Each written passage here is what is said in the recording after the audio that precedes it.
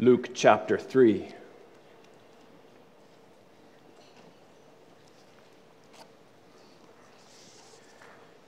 The Gospel of Luke, third chapter, I'll begin reading in verse 1.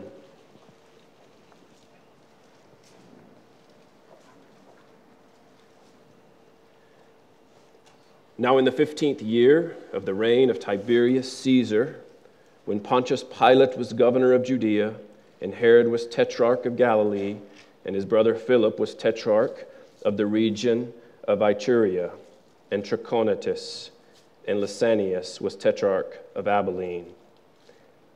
In the high priesthood of Annas and Caiaphas, the word of God came to John, the son of Zacharias, in the wilderness. And he came into all the district around Jordan preaching a baptism of repentance for the forgiveness of sins, as it is written in the book of the words of Isaiah the prophet the voice of one crying in the wilderness, Make ready the way of the Lord, make his paths straight. Every ravine will be filled, and every mountain and hill will be brought low. The crooked will become straight, and the rough roads smooth and all flesh will see the salvation of God. So he began saying to the crowds who were going out to be baptized by him, You brood of vipers, who warned you to flee from the wrath to come? Therefore, bear fruits in keeping with repentance, and do not begin to say to yourselves, We have Abraham for our father. For I say to you that from these stones God is able to raise up children to Abraham. Indeed, the axe is already laid at the root of the trees. So every tree that does not bear good fruit is cut down and thrown into the fire.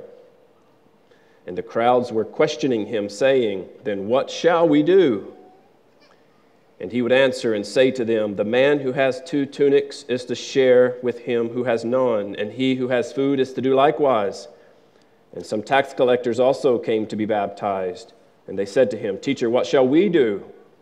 And he said to them, Collect no more than what you have been ordered to.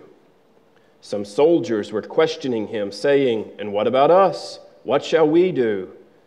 And he said to them, Do not take money from anyone by force, or accuse anyone falsely, and be content with your wages. Now, while the people were in a state of expectation and all were wondering in their hearts about John as to whether he was the Christ, John answered and said to them all, as for me, I baptize you with water. But one is coming who is mightier than I, and I am not fit to untie the thong of his sandals. He will baptize you with the Holy Spirit and fire. His winnowing fork is in his hand to thoroughly clear his threshing floor and to gather the wheat into his barn, but he will burn up the chaff with unquenchable fire. May the Lord add his blessings to the reading, also to the hearing, and in a few moments to the preaching of his word as well. Let's.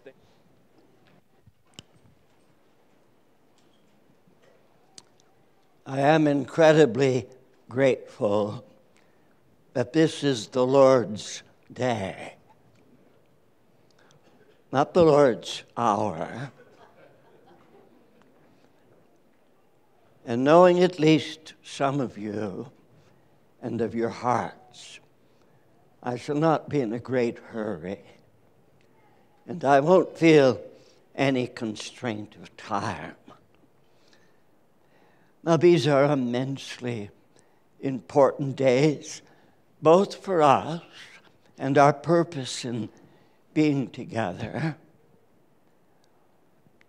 with a focus on revival. Now, I know that there are an awful lot of people who don't really have any distinct notion at all what revival really is. If I thought revival was what a lot of people I meet think revival is, I'd be home resting today. But by God's grace, I know what revival is. And it is so desperately needed. And God is so perfectly able. And revival itself comes with such suddenness that no matter what we know about the condition of our own hearts and the condition of the church in America and the tragic moral and spiritual decline of a once godly nation, I know that suddenly God can come and everything can be transformed. And so I'm perfectly delighted to be here and to speak on this theme, and particularly grateful that my dear and longtime friend John Snyder will be coming in late tonight, and so we'll share these meetings together. Now, if my memory is any good at all, I think this is my third visit to this fellowship. And I remember with great fondness the former visits. And I'm very glad that some have come from other parts. Uh, right here, immediately in front of me, is a friend of mine, Patrick, uh, who lives in my area. And he and his roommate and friend, Apollos, have been of great help to me physically in things I could not do. He's been a part of one of our Bible classes there as well. So I look across the room as best I can and I greet you in the name of Jesus. And I ask you now to give all you've got to the listening to the Word of God, which is as it always was living, powerful, able to radically transform.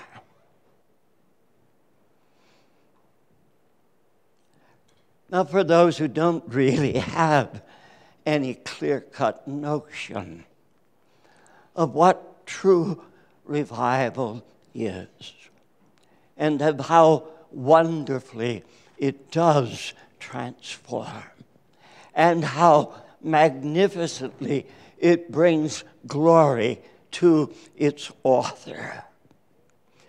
Let me begin uh, with a few simple explanatory thoughts.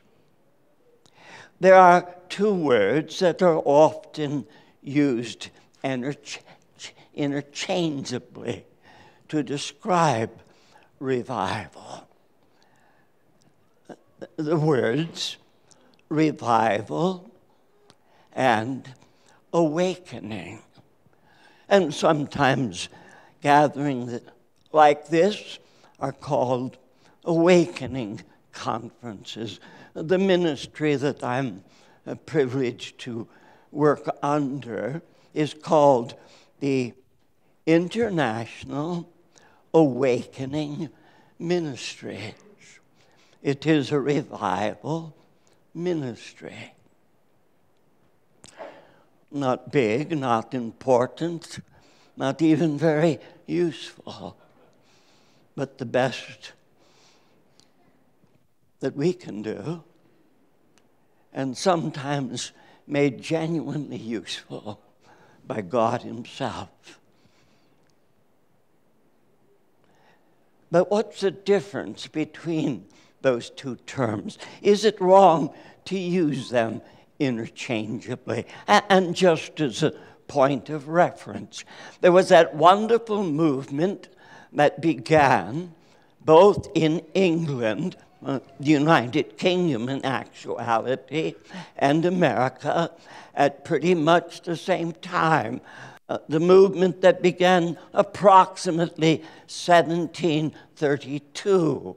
In Great Britain, it became known as the Evangelical Awake, uh, Evangelical Revival. But here in America, it uh, earned the title the first great awakening.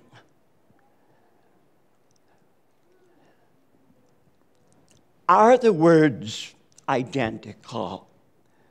Could we say that there really is no distinction between them? Now, mind you, I'm not making a fuss about a non essential, just simply asking you to uh, join now in a serious consideration of this subject. Revival, technically, is only possible among the living.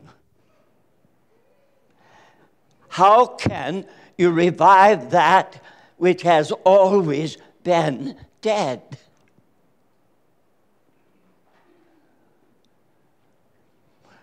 Not really a brilliant thought, but a very critical thought. So, when we speak with great care, revival is that which pertains to those who have some measure of the life of God in them. And some of you are acquainted with the proverb. The proverb concerning backsliding. The proverb that says, the backslider in heart is filled again with his own ways. Now let's think about that proverb and the great truth that it speaks of. When a person is dead, in trespasses and in sins.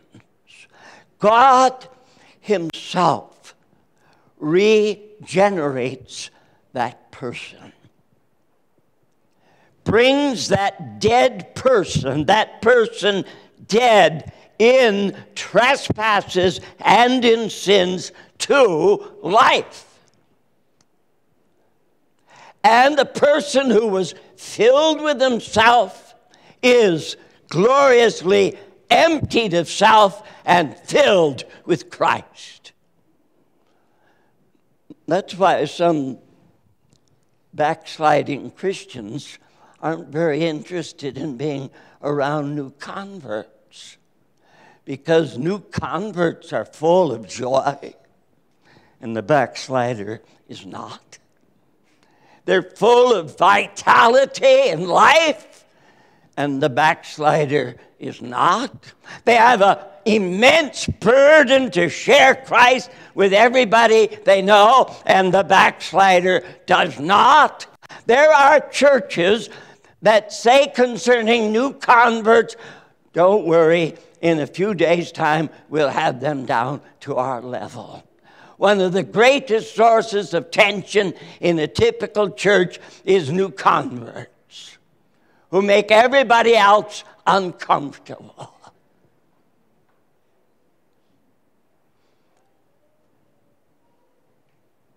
But after being emptied of self and filled with Christ, gradually, bit by bit, piece by piece, self once again comes back. When you're truly born of God, you hate self and sin, and you love Christ. And your enthusiasm is impressive. But then you begin to have a renewed attraction to that which you left. And if you're not careful, every single believer is in danger of backsliding, of having the self return. I have illustrated it in some places. Some may have heard me use this before. Did you ever ride a subway? say in New York or London. Well, you board the subway car and you see that, in, that entire car with seats along both sides and then straps constantly all along overhead. You see, there is one single seat left, and you grab it.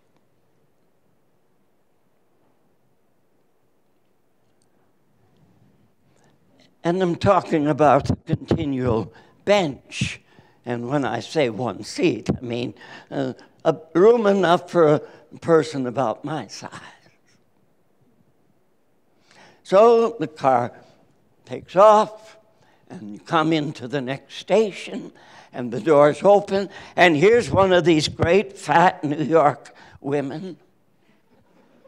And she spots about an inch and a quarter between you and the person next to you, and you see she's headed your way. Oh no! And she manages to sit down in that tiny place, and like this, she's got plenty of room. And at the next stop, it's one of those Irish policemen. You get the picture. You leave a tiny crack in your life, the smallest space, and sin seeks to find its way in. And the sin serves like a magnet, it draws other sins. And so the backslider in heart is filled again with his own ways. Christ is crowded off into a corner. Now, mind you, I'm not talking silly. I'm not talking about the absurdity of a saved person being lost. That's nonsense. How can you be saved and lost? If you're lost, you're lost. If you're saved, you're saved. But you can have sin and self crowd back into your life and rob you of joy and render you useless. And so a revival comes. And this person who has backslidden is suddenly once again gloriously emptied of self and filled with Christ. And there's a factor in revival so precious, so wonderful, that it's the kind of an experience that is never forgotten. In my younger years, I was often a guest preacher in various parts of the Principality of Wales, a land that saw dozens of magnificent revivals over the years. The last great revival gripping Wales in 1904, 1905. And as a young man preaching in the churches of Wales, I often met those who were deeply can you imagine what I'm talking about? Those who were deeply affected by the revival. Old people, of course. But just some precious quality there. Something glorious had happened that could not be forgotten and that had magnificent impact year after year after year, and meeting them at their 70 and 80 and 90 years of age, still the glow of the presence of Christ that came to them in revival, wonderfully in place. So, revival, that which happens among the living who have backslidden. Is there anyone here who needs revival?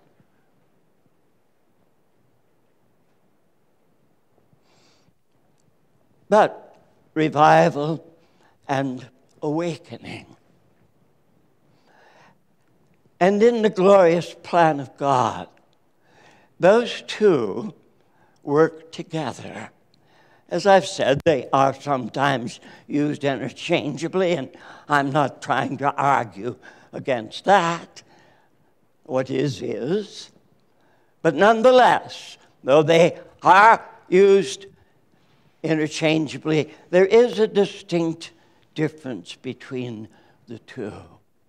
When there is a revival in the church, it leads to an awakening in the world. Now, I listen to people who say it's too late. My word, things are so terrible, there is no hope. The next event on God's calendar is the end of the world. Well, that might be. But who are they to say? How do they know God's calendar? I'll tell you, the bulk of the people who talk a lot about millennialism are liars. They pretend to know more than Christ does. When Christ was asked, When shall these things be? he made it clear that's in the Father's hands, not mine. But suppose we are nowhere near the end. And suppose the end of the year of the age is still 500 years away.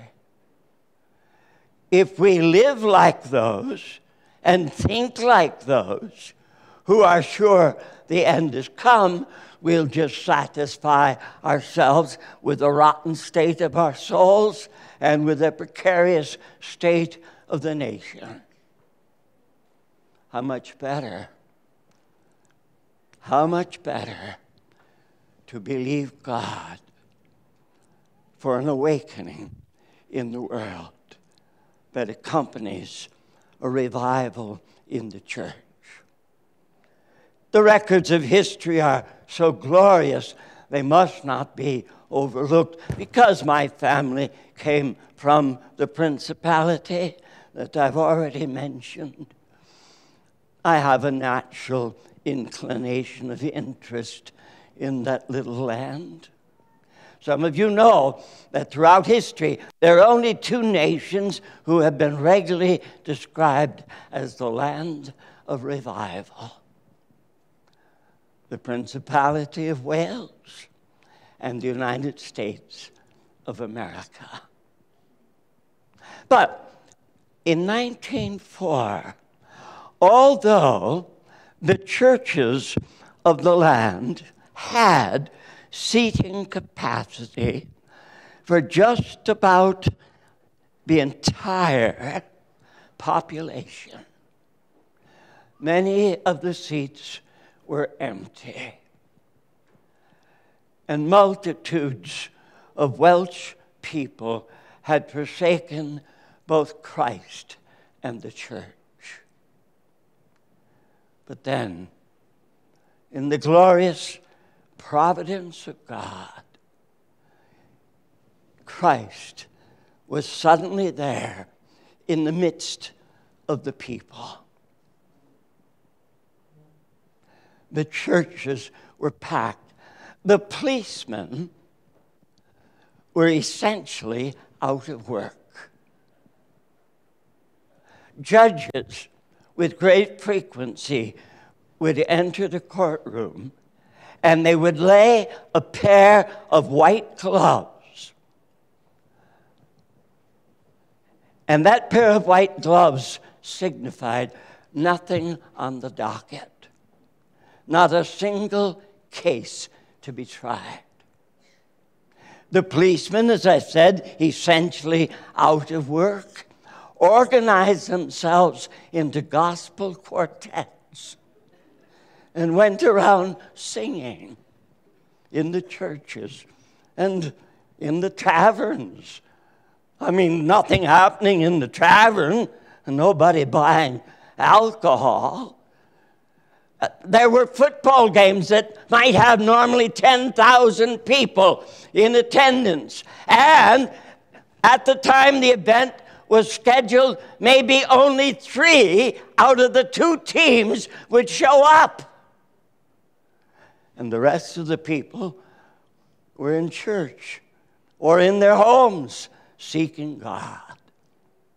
The situation became so amazing that the really only work the policemen had beside their music was crowd control. There was the danger because the immense numbers of people crowding into the churches that the balconies would collapse.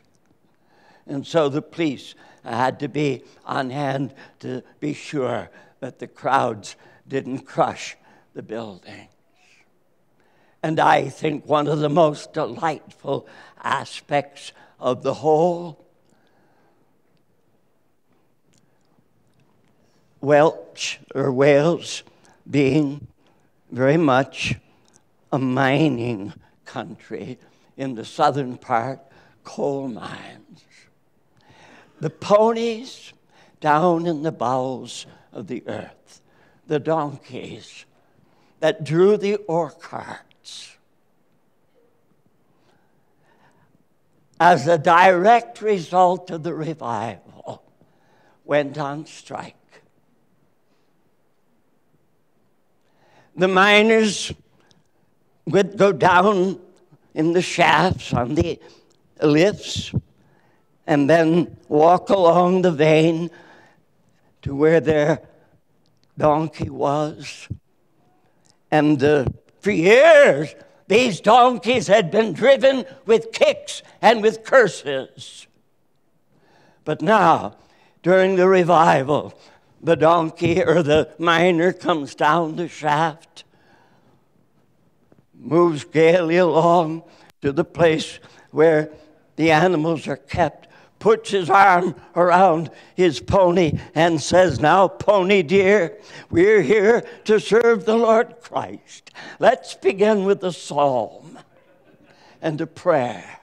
And the poor animals were dreadfully confused, didn't know what to do. They had to be retrained to human kindness.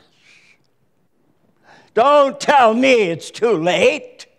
Every tavern in America could be closed tomorrow morning and forever. In our lifetime, if Christ were to come,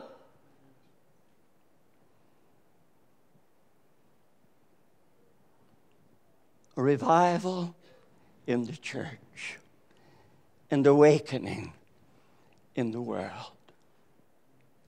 Now, there is another term that is sort of the cover term of those two terms I've briefly explained. It's a wonderful term. I'm a guest in the home of Luke and Megan. They've been married, they told me, three months. And last night, they said to me, You are our first house guest. They are experiencing a visitation. Now, I could imagine a thousand persons whom they might better have entertained, but they've got me and I am their first house guest. But you know what the word visitation means. Now, you know that sometimes people come and you wish they didn't. And when they leave, you breathe a great sigh of relief. Whew, am I grateful that's over? But on the other hand, some of us look forward for weeks and months to visitations. And we treasure the memories of the visit. I think back over my lifespan, and I think with wonderful joy of the guests whom we've entertained in our home.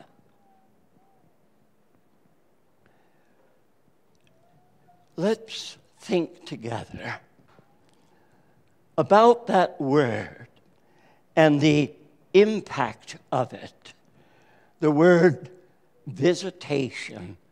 And we're focusing not upon the visitation of a parent or an uncle or a friend, but a divine visitation. Now, we read together from the Gospel of Luke at chapter 3. If you're one of those silly people that thinks preachers shouldn't talk for more than 25 minutes, I haven't even started and I've broken your rule. But just in asking for the milk of human kindness, I haven't preached yet. I've just had a friendly chat. And uh, now we turn to the Word, and the sermon began. So if you have this nasty spirit and you time the preacher, don't count what went before. Uh, punch your watch now if you like. But Luke chapter 3, a wonderful passage on the subject of divine visitations. Now, this is a passage, obviously, about two people. The next to greatest and the greatest. The greatest of all, Christ. And uh, in Christ's lifetime, other than himself, the next greatest, John the Baptist. So, this is a passage telling us about the call of John the Baptist to prepare the way for the divine visitor, the Lord Jesus Christ. And what we'll really be talking about all week is making ready the way of the Lord. Now, I don't know some of you at all, and not any of you well enough to be absolutely sure of all these things. But I want to tell you that in the course of life, I have had many wonderful things that have happened. But the greatest of all has been the nearness of Christ. Indeed, I can add my testimony to that of the psalmist in Psalm 73. The nearness of God is my good. Of all the high points of my life, none have approached in greatness and value. Those seasons when the nearness of Christ has been my lot. Now, having said that, some of you may be quite stupid about spiritual things. And you may have the notion that God is always near. Now, just in case someone here is so dumb as to think, like so much of the church does, that God is always near, let me remind you of a statement made by the Apostle James Draw near to God, and He will draw near to you. Now, if God is always near, that's an absurdity. Why should anyone be instructed to draw near and God will draw near himself when God is always near? We've got to face the fact that Our present age is an age in which God has drawn away, not drawn near. Now, look, God gave you a brain, use it. How did we become a nation of great wickedness? How did the churches of the nation earn the reputation of being virtually worthless? Was it by the nearness of God? No, obviously, it's by the absence of God.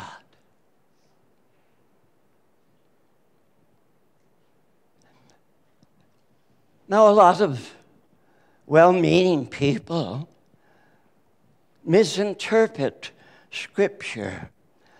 And some of you are already well acquainted with what I'm about to say in introducing this matter of divine visitations, but some of you are unlettered in these things.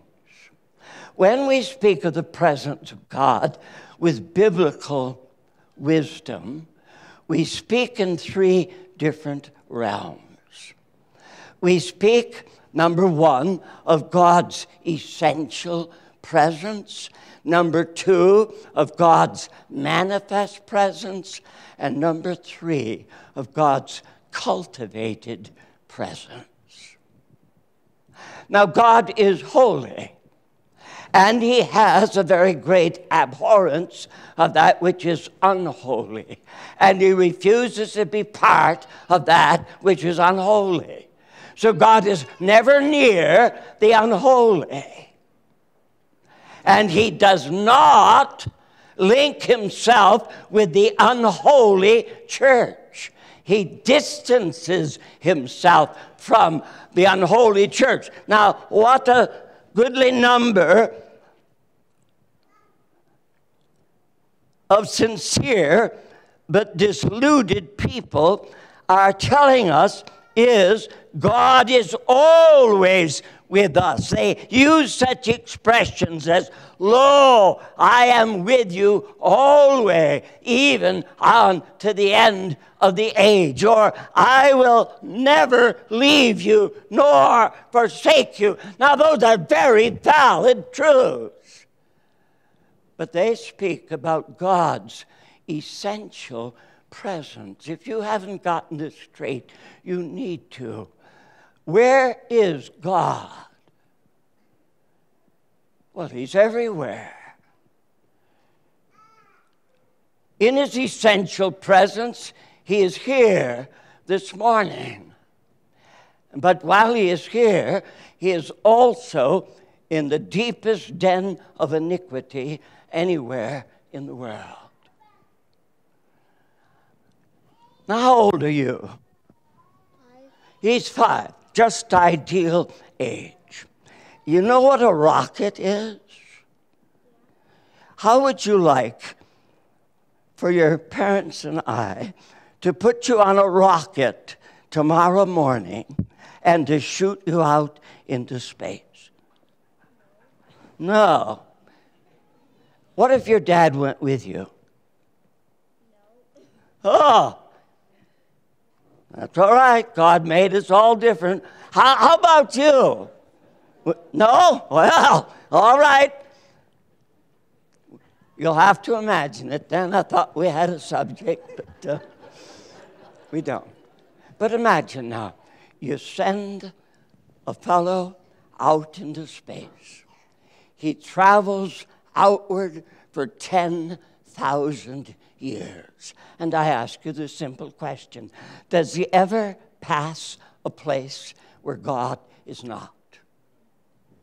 No, God fills heaven and earth. But what is the impact of God's essential presence upon society? Well, never here, of course. But I've been in churches that are so busy fighting with one another that they don't have any time for God. Now, when God draws near to a church, you know what happens? People fall on their faces, they weep, they cry out such things as, Woe is me, I am undone. I'm a man of unclean lips, I'm a man of impure heart. Depart from me, I'm not worthy. The essential presence of God has virtually no known impact upon the moral and the spiritual life of its observer. Now, that's not eliminating God's essential presence. That's meaning, that is simply qualifying what it really means. But now, the second term, the manifest presence. Manifest. Now, this boy sat next to me was courageous in doing so, and uh, I'm uh, glad he had the courage. Now, it's going to be hard for him to deny tonight that an old man didn't come up right next to him, put his arm on his shoulder, and give him a bit of a back rub. This boy has had a manifestation of my presence. It wasn't just visual, it was felt. The manifest presence of Christ is a felt presence. You know,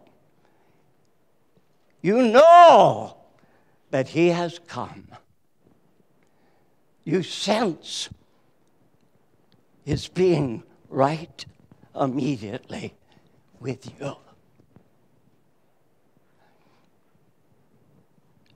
And it troubles you because you know how unfit you are, how unworthy, how unlike Christ. And you too join with those recorded in Scripture who cry out, having fallen on their faces, Woe is me, I am undone. And when we're talking about divine visitations, we're not talking about the essential presence of Christ, but the manifest presence of Christ. But I mentioned a third word, and I'll just give a few statements about it. Because of God's nature, because of His holiness, because of His hatred of sin, because of His refusal to have anything intimate to do with sinners. God brings the church, when it prefers sin over holiness, under judgment.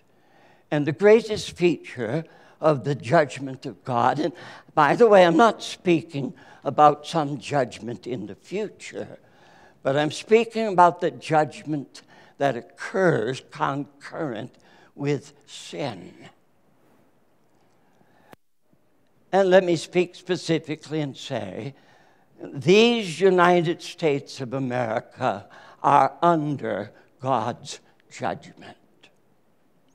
Don't be so silly as to say, if we're not careful, God may judge us. God has judged us. He has judged us by withdrawing his manifest presence. Now, if you don't care anything about the nearness of God, you don't even breathe a sigh of concern when he's left you. But when you're walking in my shoes, now I, I, I don't want to make an issue of this but I have been preaching for 70 years, a good deal longer than many of you have been alive. And I have preached at times when God was so near that entire congregations were bathed in tears and where large numbers were fleeing to Christ. I know the difference between a season when God is near and a season when God has withdrawn. And what I'm saying to you now is there is that wonderful privilege of cultivating God's presence. While living in a nation under the judgment of God, when He has withdrawn His manifest presence from the churches of the land, it is still possible for individuals and local churches to cultivate God's presence, to enjoy the presence of God even when others are suffering from his absence. So I want to underline that and say there is no way we can guarantee that God will visit us again as a nation. But every one of us, without exception, has the privilege of cultivating God's presence and enjoying it. Now, keep those simple matters in mind. As I told you to begin with, this is the Lord's day. I'm not in a hurry. I hope you aren't. And if you are, well, God can forgive. He won't until you ask for it. But now we do come at last uh, to the passage. And what I have said, I think, is essential to really getting a grip uh, on the wonderful truths before us. As Anthony read for us, out of Luke 3, in the 15th year of Tiberius, and then the assortment of names and positions, and verse 2, uh, in the high priesthood of Ananias and Caiaphas, the word of God came to John. And as I have been stressing, this is a passage on divine visitations, just to help you to get a better sense of the biblical issue involved here. Go back in your thinking to what you can remember about the Old Testament. Remember that occasion when Moses approached a bush that was burning, and yet it was not destroyed? And when God spoke out of that bush and commanded Moses to take off his sandals because he was standing on holy ground. That was a divine visitation.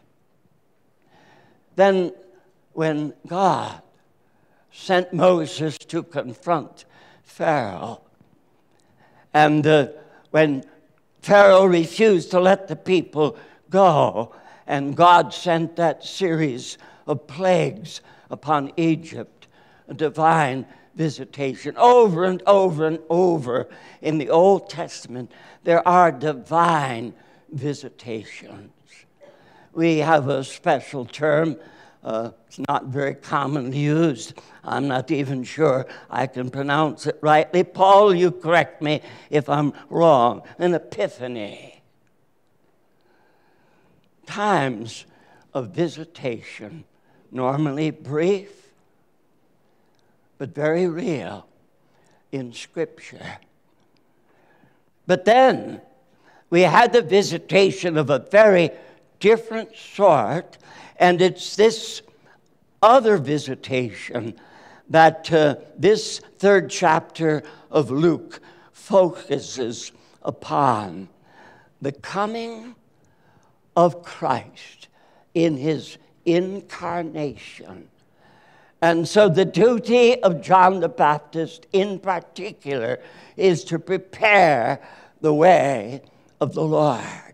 But then, in addition to the visitation, when Christ became incarnate and was both God and man, we have the visitation of God at Pentecost. And what a glorious visitation that was.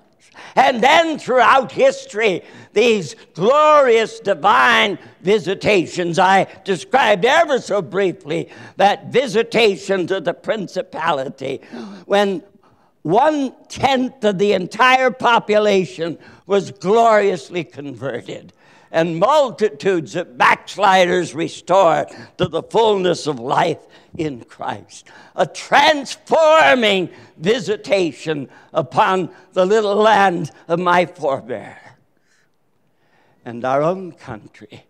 These great seasons of divine visitation. And what we're saying today is it's not too late. Have you thought of what it would be like if Christ visited us again? Oh, dear me, what a lovely thought. What a glorious thing to think of this wayward, backslidden, grievously wicked nation suddenly filled with the presence of God. Divine visitations, glorious events of the past, and anticipated event of the present, and a guaranteed event of the future, for Christ will come back. Absolutely guaranteed. No possibility of it otherwise. What we sometimes refer to as the second coming or the second advent, when Christ comes back and uh, demonstrates that he is truly the Lord of all. And not one can resist. Even the worst infidel in the world is forced to bow the knee and admit that Jesus Christ is Lord to the glory of God the Father. But I don't want the infidel to acknowledge the Lordship of Christ when it's too late to do him any good. I want him to make that admission now.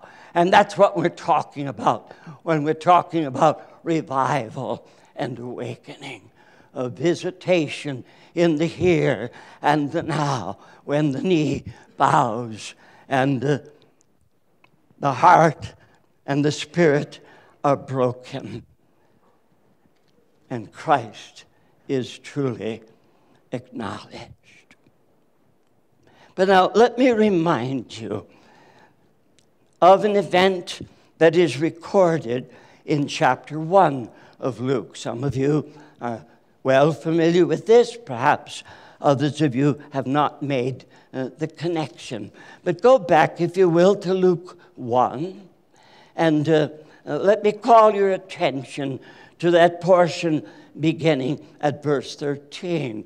And I remind you, and this is explained in what is immediately uh, before verse 13, that Zacharias, a priest, was in the temple performing his normal responsibilities at that time. And verse 13. The angel said to him, Do not be afraid, Zacharias, for your petition has been heard, and your wife Elizabeth will bear a son and you will give him the name John, and you will have joy and gladness. And many will rejoice at his birth For he will be great in the sight of the Lord, and he will drink no wine or liquor, and he will be filled with the Holy Spirit while yet in his mother's womb, and he will turn back many of the sons of Israel to the Lord their God. And it is he who'll be a forerunner before him in the spirit and in the power of Elijah to turn the hearts of the fathers back to the children and the disobedient to the attitude of the righteous, to make ready a people prepared for the Lord. And you well know that exactly as the angel declared it to Zechariah, his aged wife past childbearing years suddenly found herself pregnant. Not in the miraculous way that Mary was impregnated with that living and abiding word, but in a natural way made possible through a miracle. And all of you, I trust, remember that after some months, and this same angel had made a visit to a young girl by the name of Mary and told her that she was to bear a child. Although never having known a man, and uh, in her amazement, and then in great joy, she went to call upon her cousin Elizabeth. And as she was approaching the home, she called out a greeting, and that babe in Elizabeth's womb leapt and both Elizabeth and John were filled with the Holy Spirit before ever he was born. So the precise words of the angel came true in every detail. And you know that because Zacharias had a problem with what the angel told him, he was struck dumb and he could not speak. And you do remember, don't you, that uh, at the time of the naming of the child, there was a discussion among the family as to what this child was to be called. This is also in Luke 1. If you've forgotten, you will find the record beginning at verse 68.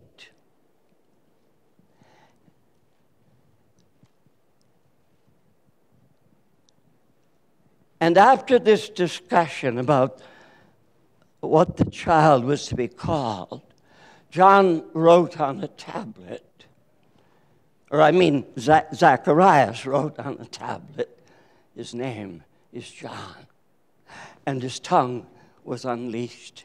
And he gave a wonderful testimony of what this boy was to accomplish. Look, as I said at verse 68.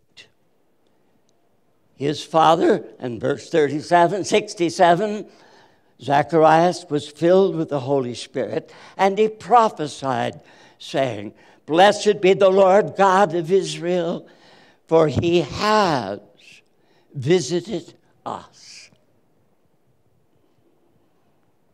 Let that word warm your heart.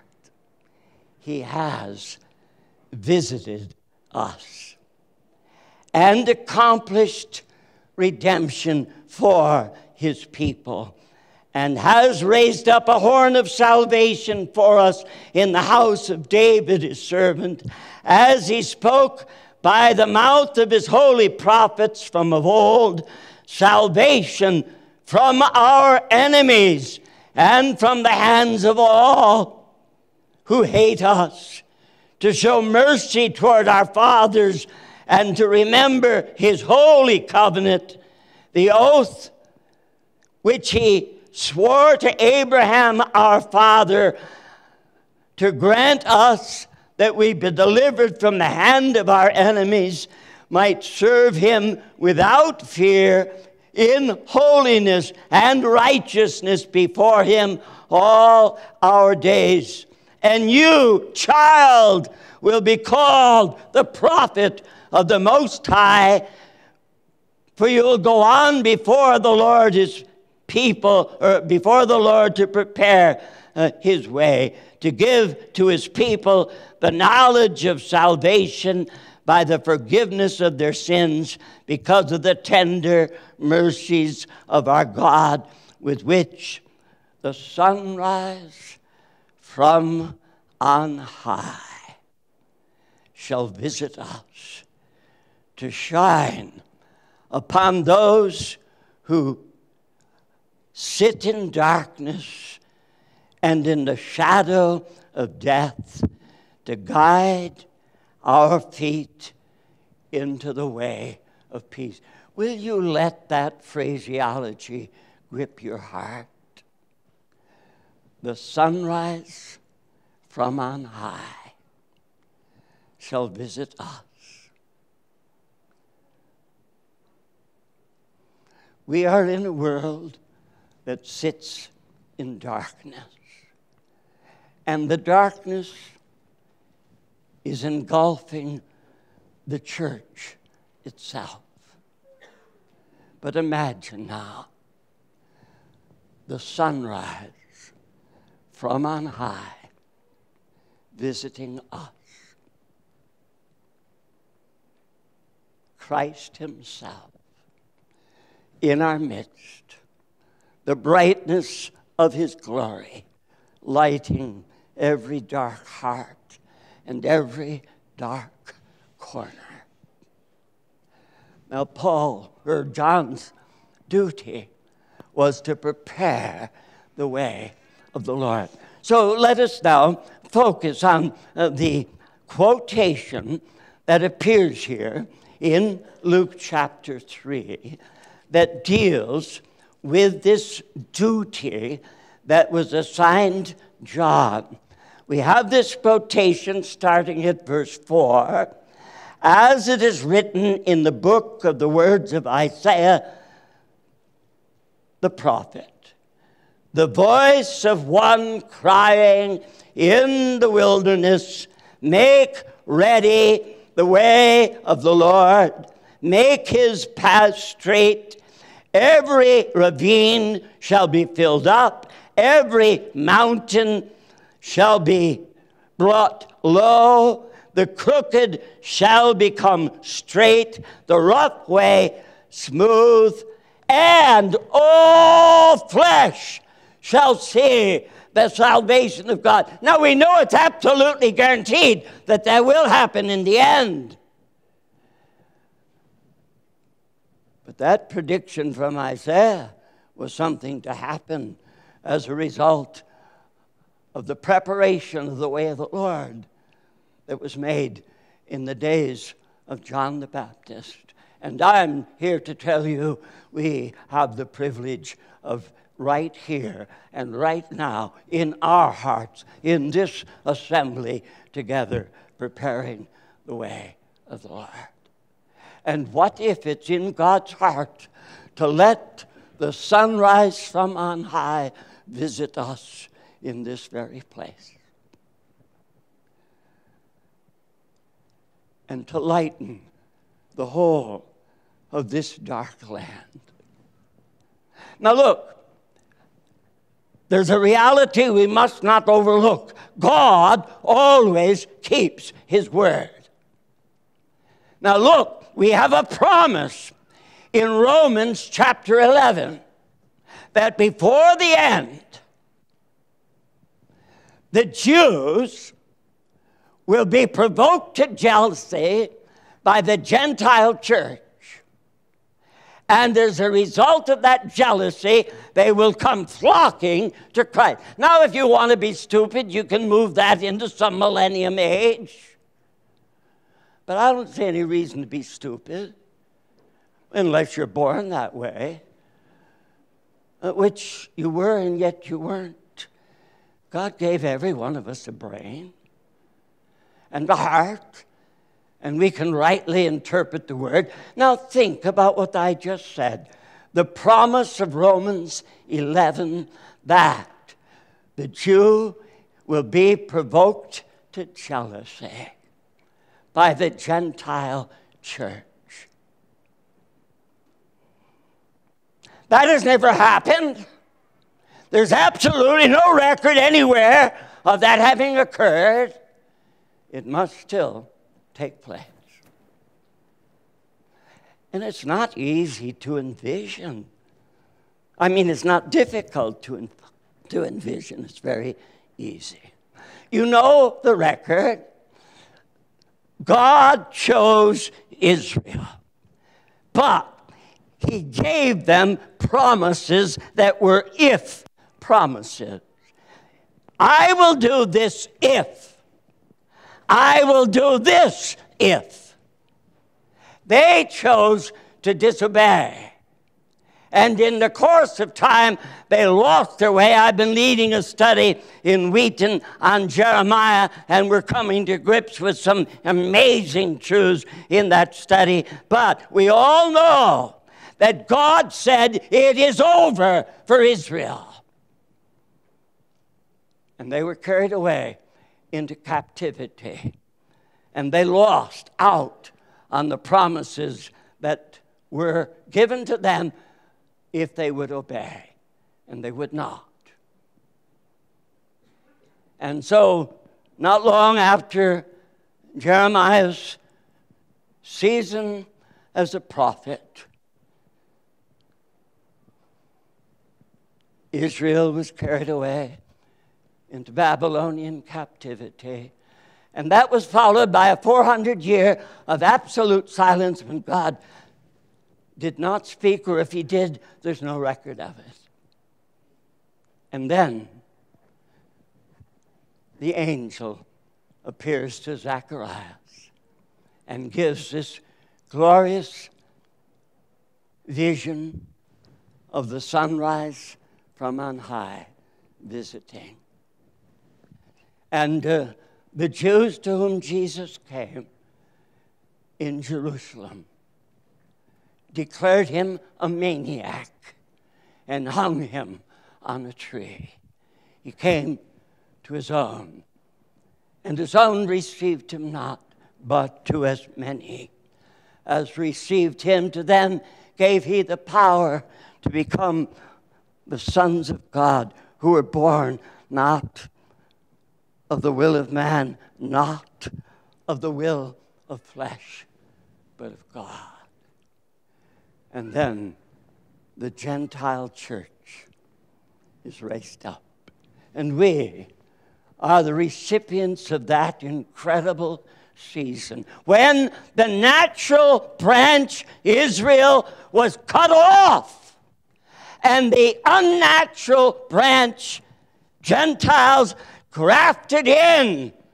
And for hundreds and hundreds of years, we have been part of the vine. But it is absurd to think that we can act like Israel and remain.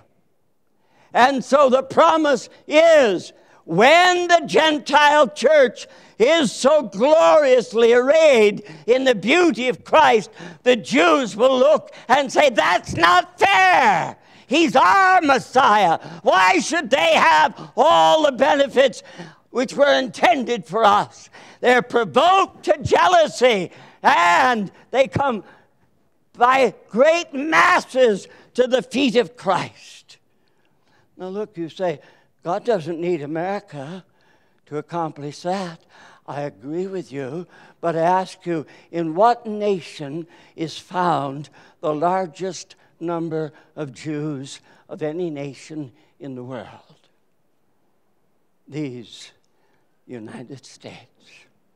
I'll tell you how I think. I think of my beloved nation experiencing the visitation of the sunrise from on high. I see a stupid, a dreadfully backslidden, a nearly dead church revived. I see an awakening happening in my world. I see the church that I know so well across America arrayed in the robes of their own unrighteousness, suddenly clothed with the beauty of Christ's righteousness. And I can almost feel in my old bones the spirit of the Jew crying out, That's not fair. He's our Messiah. Why should they have all these blessings?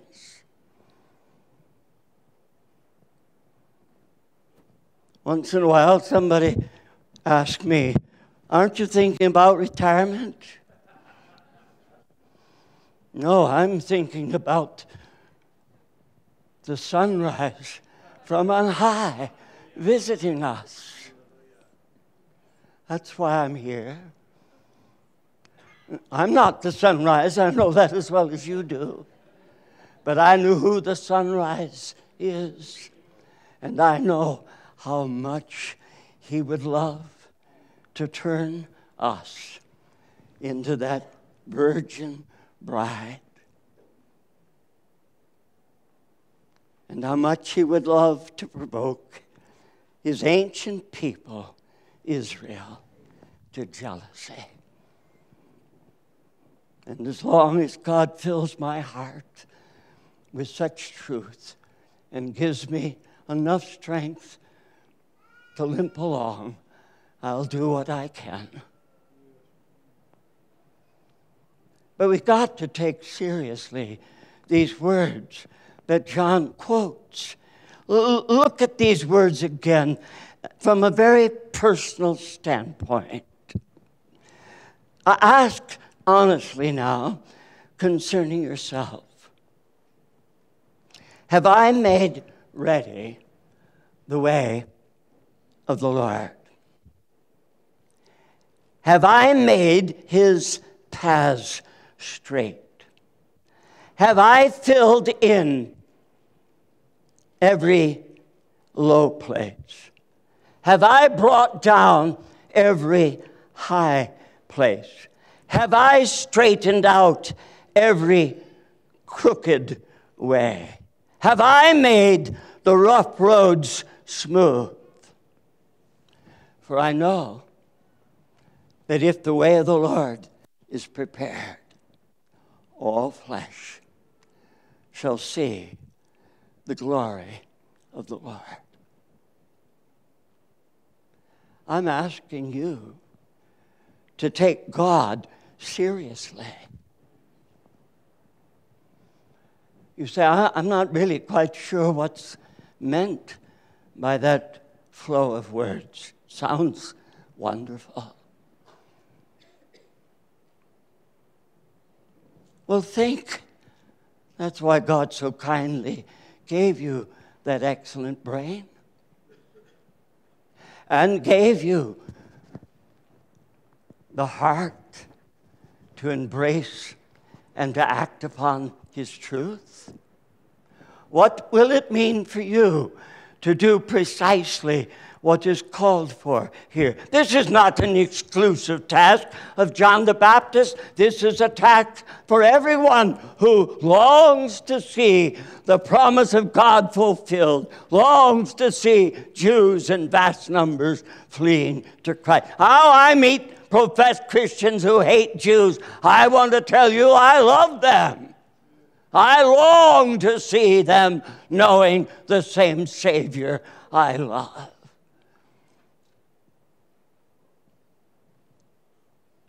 What must I do? What must you do to prepare the way of the Lord? What will it mean for you to do precisely what is called here step by step by step. What will it mean to straighten out the path? Think of it this way it's like building a highway, a highway of holiness, a highway over which we can move toward God, a highway over which God can move toward us. I mentioned already draw near to me, and I will draw near to you. It's quite difficult to draw near to God if you've got no highway prepared. Are there any low places in your life that need to be filled? Are you one of those moody persons who sinks low and lives in discouragement and distress? Fill up the low places. Bring down the high places. Multitudes of professed Christians have no highway of holiness prepared because their own pride is mountain high. God's not going to climb a mountain to come to you. He could, and He could remove the mountain, but He's told you to do it. And why do we dare ask God to do what He's already commanded us to do? Bring down the high places. Rid yourself of pride. Pride is truly an abomination. What a stupid thing it is to be proud. What have you got to be proud of? And this passage is wonderfully helpful. We'll come to it at the end, but I'll just give you a little foretaste toward the end of the portion we read, John the Baptist says, I baptize in water. But when he comes, whose sandals I'm not fit to untie. Now, was that you speaking? Granted, you're not fit to untie his sandals. If John the Baptist, whom Christ said was the greatest, acknowledged that he was unfit, how do you dare think of yourself in the arrogant fashion that you have tended to think? You know, the great issue in terms of humility is not denial of truth when John said, Whose sandals I'm not fit to untie, was he exaggerating? Was he pretending? Was there make believe? Or did he tell the truth? Humility is not denying facts. Humility is keeping the facts in proper relationship to the greater fact the greatest preacher in the world today is nothing in comparison with Christ. The greatest missionary is not as much as dust in comparison with Christ. The way to humility is not to pretend, not to make believe, not to ask like the old comic strip figure of Caspar Milquetoast. The way to humility is to constantly remind yourself no matter who I am or what I am, I'm as nothing in comparison to Christ. Bring down the high places. Set your heart this morning to eliminate, by God's grace, pride. So you fill up the low places, you bring down the high places, you straighten out uh, the crooked places.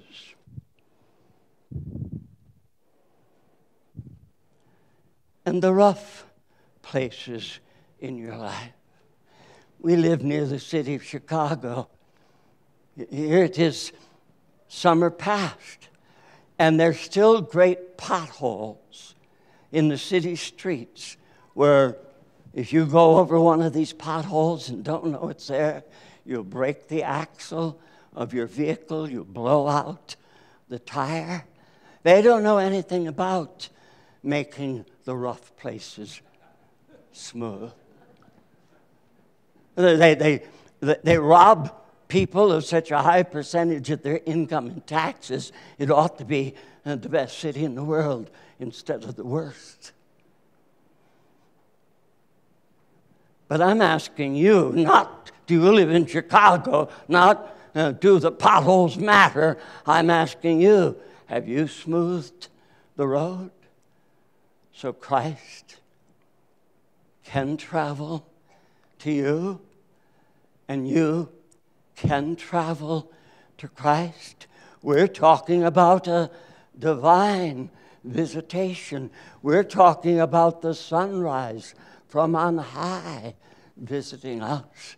Surely that's worth all the effort that you can possibly make. But look, if you will, at verse 7. He therefore began to say to the multitudes who were going out to be baptized by him, You brood of vipers, who warned you to flee from the wrath to come? Now, listen, friends. Don't misinterpret that. Who came out to the wilderness to listen to John? The poor people, the uneducated people, the broken people, the people with obvious needs, yes, but also the religious leaders of the time, the scribes, the Pharisees. And John wisely turns to a portion of the crowd and says, You brood of vipers. Now, don't misunderstand. From some portions of the New Testament, we get the notion John baptized anybody that came to him. That's part of the great error of most southern churches, stupid enough to baptize everybody who asked for it. I was told yesterday about an incident where a church had gathered for the baptism, and there were a number to be baptized, and uh, there was a woman helping with the uh, little things like the towels and so on. And uh, uh she turned to a man who was standing there, and she said, And are you here to be baptized? Oh, no, he said, He's my boyfriend. And immediately she realized here's a homosexual ready to be baptized. Now, I know a multitude of churches that would have gone ahead with the baptism. But thankfully, in this particular case, this woman rushed right to the pastor and told him what she discovered. And he said, He will not be baptized here.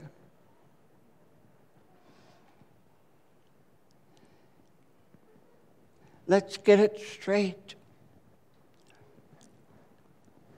We are to prepare the way of the Lord. And when a person says they have repented, we've got to take the time to be sure that they have fruits in keeping with repentance.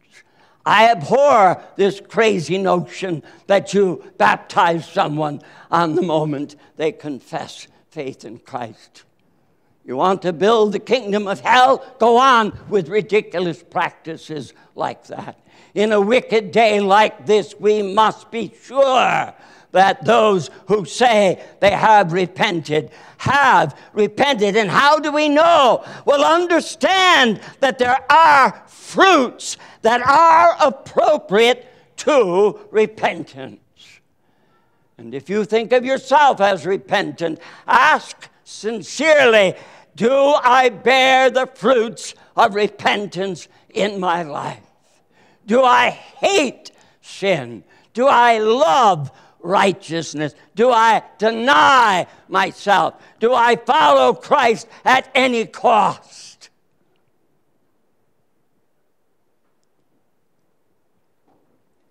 And then we have the mention of three different parties that came uh, to John.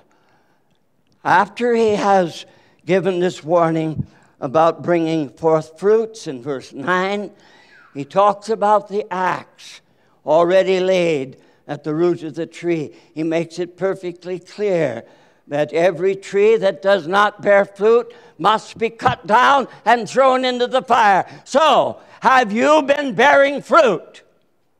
Are you always a fruit bearing believer? If you are not, then you better face the fact you have not prepared the way of the Lord. True repentance results in a fruitful life. But then three groups come. And uh, we read of these earlier. Our dear brother Anthony uh, read the passage so well, so effectively. There's a group out of the multitude, verse 10, who come saying, What shall we do? And the answer of John let the man with two tunics share with him that has none. Let the one who has food do likewise. You wonder what it means to bear fruit in keeping with repentance? Well, that's one aspect of the fruit. And then in verse 12, some tax gatherers also come to be baptized.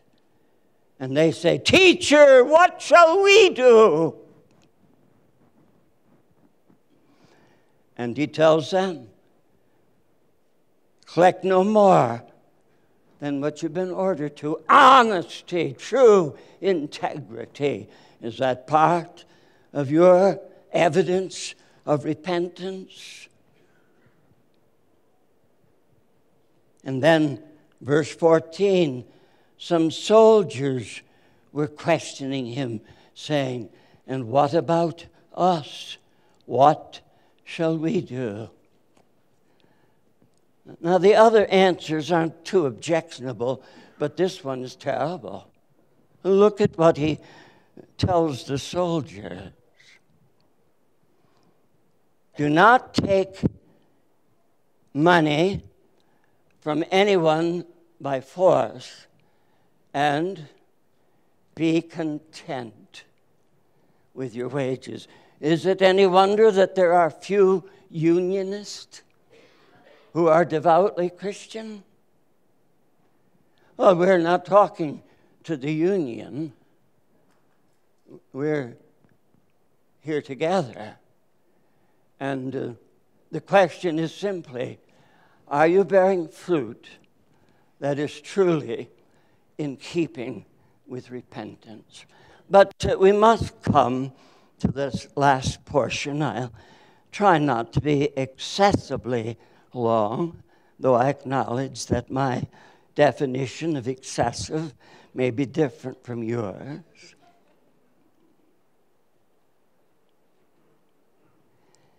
But these words are of such great consequence and so vital to the passage.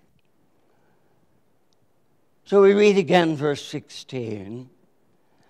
John answered, and he said to them all, As for me, I baptize you with water, but he was mightier than I is coming. I'm not fit to untie the thong of his sandals. He himself will baptize you in the Holy Spirit and fire. Now, those last few words are, as I just said, vital to the whole passage. He shall baptize you with the Holy Spirit and fire. Now, listen to this remarkable fact.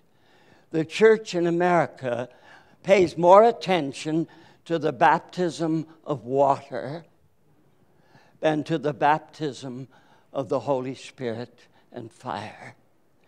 Now, I hardly need to tell you again, I'm an old man. And I've been around a lot. It's shocking the number of places and the variety of places where I get asked to speak, including extreme Pentecostals.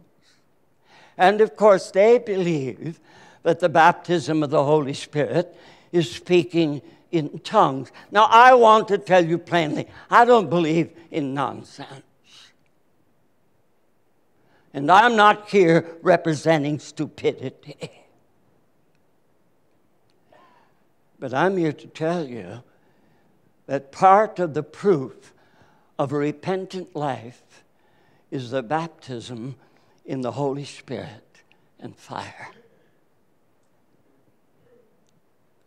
And I want to ask you lovingly but bluntly do you know what John was talking about?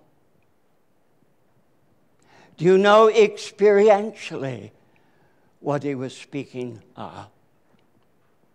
Now, I want you to notice the wording. It does not say if you're special, if you're extraordinary, God may baptize you in the Holy Spirit and fire.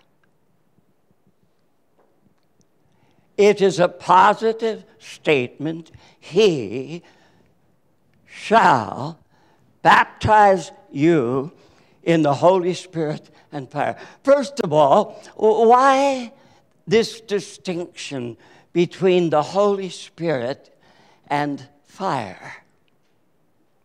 Well, it doesn't take an awful lot of study to discover what the baptism of the Holy Spirit results in. All you have to do is to read the book of Acts. And it is more than obvious that a baptism in the Holy Spirit is a baptism in power. So I'm asking you, as a caring friend, do you know the baptism of power?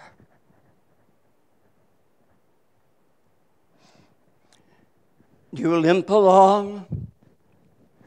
I'm so glad to be a Christian, so excited about the kingdom of God. Would you move over so I can sit down?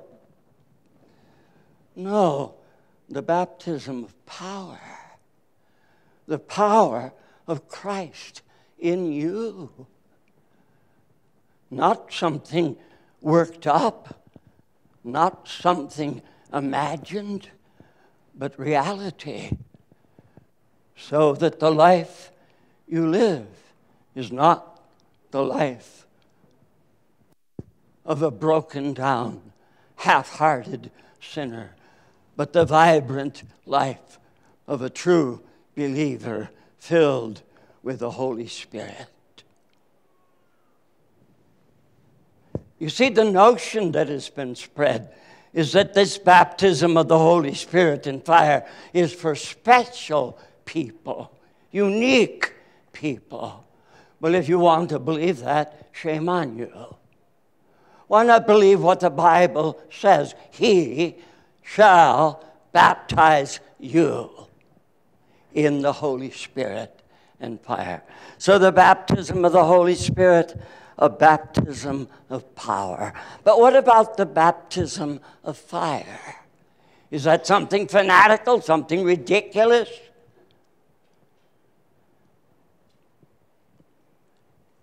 Some of you know the name John Wesley, a rather important figure in the evangelical revival of the 1700s. He said concerning an acquaintance of his, a man by the name of William Grimshaw, if England had three William Grimshaws, the whole of England would be ablaze for God because William Grimshaw is a man of fire, and everywhere William Grimshaw goes, the fire of God falls. Fire, what does fire represent in Scripture? Well, we have the refiner's fire, the fire that burns out the impurities of the life the fire of God in the soul of man that rids one of the love of sin and gives one a burning passion for a life of holiness.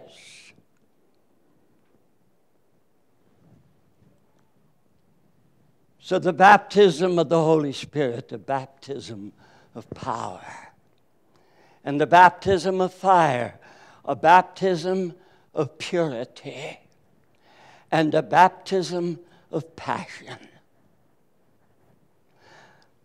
I don't want to sound vulgar or disrespectful, but when I hear some men preach, I ask myself, are all of his children adopted? If he has no more passion in bed with his wife, than he has in the pulpit, it's a true miracle that a child is conceived. Now, that's a bit coarse, but it's pretty plain. Are you a person of fire? Are you passionate? I spoke yesterday morning uh, in North Carolina uh, out of. Uh, 1 Peter chapter 4. And in verse 2, it, speaks about the passions of life that are feeding the lust of the flesh. My dear friends, what a glorious thing it is to meet someone whose passions are very much alive and all channeled to the glory of God. I'm asking you plainly in this first meeting of this wonderful opportunity of drawing near to God. Are you on fire for Christ? Is your life marked by holiness and great passion? And if not, what must you do? I'll tell you what you must do. You must believe. We are the weaklings we are the worthless persons that we are because we don't believe. Did Christ come to baptize with the Holy Spirit and fire? John said he did. Who are you to deny it by a lifestyle that proves that it isn't true in your case? Let's get serious. We're living at a desperate time in human history. And there's nothing that human flesh can do to change it. But the baptism of the Holy Spirit and fire can and will change it. Again, I say, not the baptism of nonsense, not clapping and stomping and prating about, but being filled with power and set on fire for Christ. It is ours by faith. Let me liken it to another great biblical issue sanctification. How does the true believer grow in the grace and in the knowledge of our Lord Jesus Christ? If you have tried to be good, you know how tiring it is. I don't suppose this would be true of you, sister, but uh, I've had days where for weeks and weeks I've pressed on in holiness, and then I've said to myself, I'm tired. I- I'm just going to be myself today. Nasty if necessary to be myself, arrogant. Trying to be good is an exhausting task, and it gets us nowhere.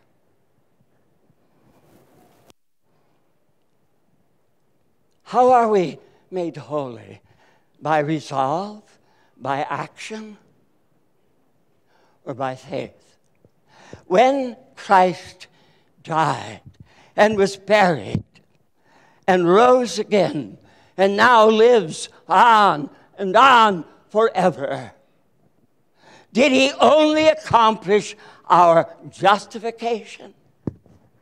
Or did he also accomplish our sanctification? Is not true holiness the result of believing in the finished work of Christ?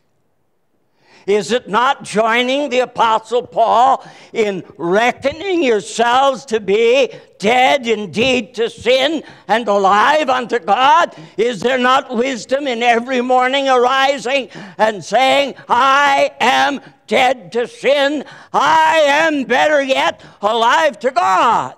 And I'm going to live like a man in whom the life of Christ is throbbing. And every day that we claim the finished work of Christ. Our sanctification is strong, glorious, God honoring, world benefiting.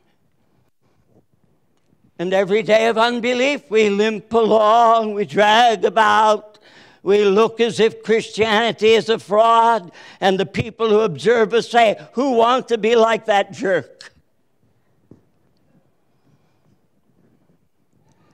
And the baptism of the Holy Spirit and fire is laying hold of the finished work of Christ in faith. And saying, I will not live without power. I will not live as if I were half dead. I won't live an unholy life. Christ is my salvation. I will claim what Christ has done. I will live in the glory of the finished work of Christ and everyone who by faith lays hold of what Christ has accomplished is ready for the sunrise from on high to visit. And I'm looking toward not just an overnight visit I'm looking toward months and years of the glorious presence of Christ in the midst of his people. And I'm claiming it by faith. Will you join me?